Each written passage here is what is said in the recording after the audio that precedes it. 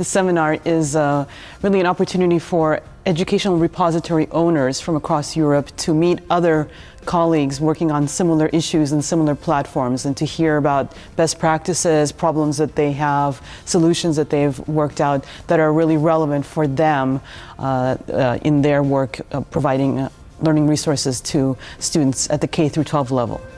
KlasCement is part of this network uh, because of the reason that we find inspiration uh, from other educational repositories. So it's, it's a network of educational repositories, so everybody is doing uh, is working with, with educational resources, uh, trying to share them amongst teachers in, those in the countries where they're working.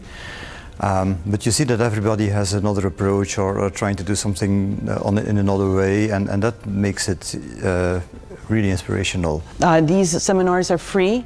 Um, anyone who's interested in the topics can attend. We really want people to also participate and contribute, so it's not just about attending to listen to a series of lectures, but uh, to stimulate discussion and to hear about what people are doing across Europe. I think it's really, really important to meet colleagues who are working on similar projects. Uh, we often, and I suppose very, very easily, operate within a silo. We operate in our own portal, our own repository, back in our own country.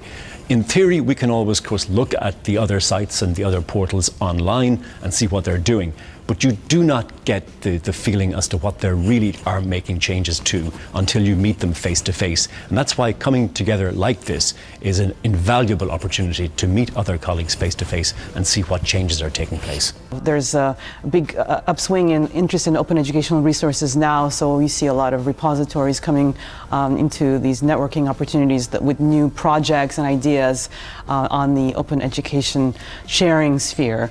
Uh, sometimes it you know goes up and down, but this is, there's a big upswing in that and a lot of interest in that and a lot of projects out there that need uh, some expertise and uh, this knowledge sharing opportunity is very valuable for them. I have discovered nothing but new ideas and that's what I came for in the first place because I thought I would uh, find experts, hands-on uh, expertise and uh, I've not uh, been disappointed.